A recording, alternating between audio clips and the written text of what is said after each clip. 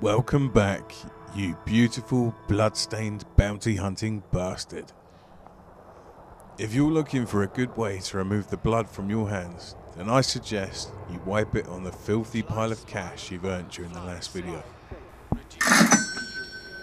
This cash, along with your ship value, should now give you a total asset count of 85 million. In this episode, we're still going to be earning cash from the suffering of others, but this time we're keeping our hands clean and doing it via trading. Now, the Vulture is an excellent killing machine, but it is absolutely useless for trade, so we're going to need to kit you out with a new ship. I'd recommend stripping down your Vulture and selling it, and purchasing a hauler, kitting it out for distance travel. You've done that, head on over to 109 Piscium, and we're going back to the icing dock. When you get here, strip down whatever ship you've used for the journey and open up the shipyard. Find yourself the nicely discounted Type 9 Heavy and hit purchase. Congratulations on your purchase of the Space Pig. This plucky porker has more than enough room to gobble up anything you'd care to put inside it. Oi, back off, Cameron. I'm talking about cargo capacity. Cargo capacity is one of the things we're going to have to sort out before we head on to our next destination. So go ahead and open up ship outfitting. Now, you guys have already had a lot of experience with ship outfitting, so I'm not going to make you sit there and watch me outfit the whole ship. The things you need to change are as follows.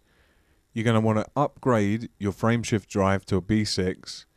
You're going to sell your Class 6 shield generator, and in the slot below where it was, you're going to add a D5 shield generator. For all the other slots, outfit maximum capacity cargo racks.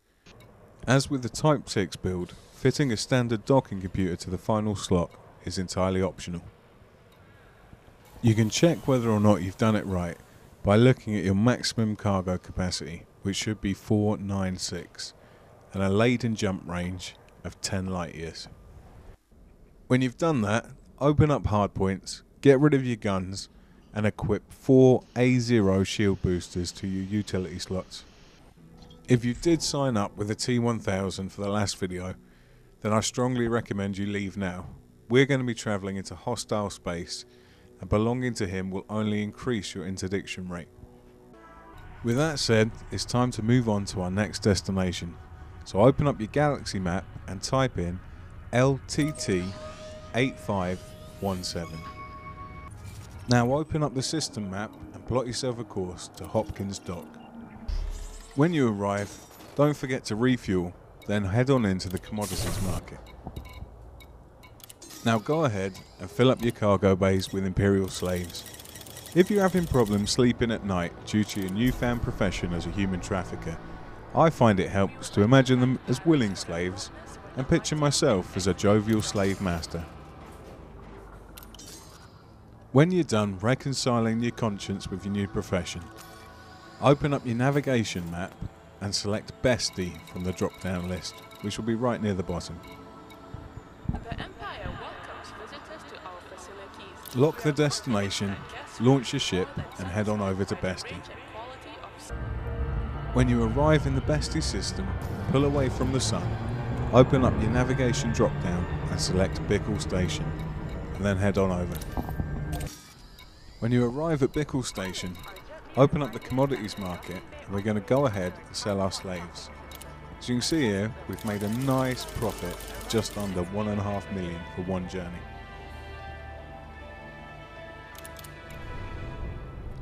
When you've sold your slaves, go on up through the list, select crop harvesters, and fill yourself out to maximum capacity. When you've done that, open your navigation list back up, drop down to near the bottom, and select LTT 8517. As soon as you're ready, launch your ship and head on back. Again, as soon as you arrive in the system, pull clear of the sun, go to navigation and lock in Hopkins Dock. When you're safely back in Hopkins Dock, open up the commodities market and go ahead and sell your crop harvesters.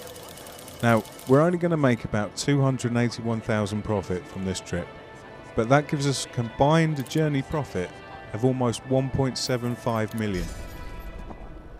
Now it's just a simple matter of repeating the trade journey.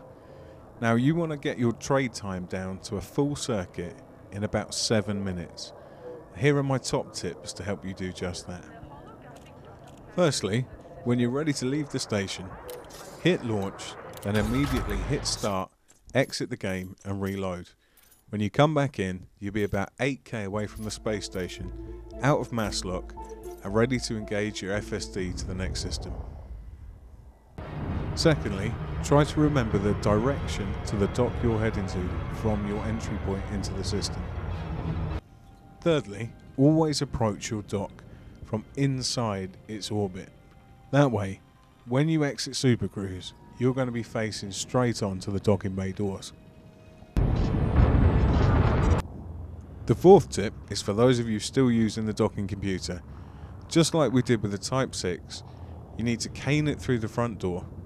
As soon as you get through to the other side, put down your landing gear to act as an air brake, throttle down to zero, and just allow the computer to complete the final few feet of your journey for you.